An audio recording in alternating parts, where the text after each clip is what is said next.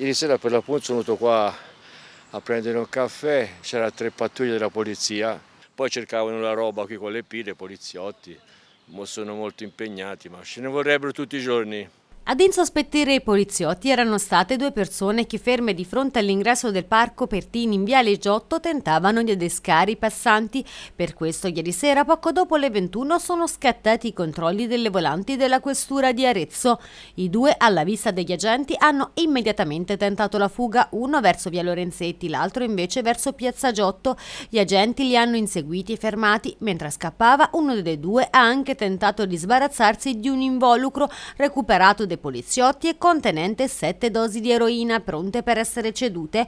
Nel corso della perquisizione personale poi gli agenti hanno anche trovato 1.300 euro in banconote di vario taglio, presumibilmente provento dell'attività illecita. È una problematica che esiste quella dello spaccio, della microcriminalità in questa zona?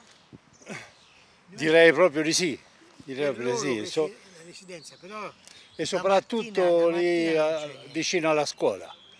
Eh, quello è una, una zona poco bella. C'è bisogno di controlli? Eh, sempre, sempre, anche qui al parco, sempre. Per uno dei due è scattata la denuncia per possesso di sostanze stupefacenti ai fini di spaccio e perché irregolare sul territorio nazionale. Droga, denaro ed un telefono cellulare sono stati invece sequestrati. Quartiere di Pezzolaziane più, più ce n'è di controlli e più siamo lì, contenti. E quindi i controlli ben vengano.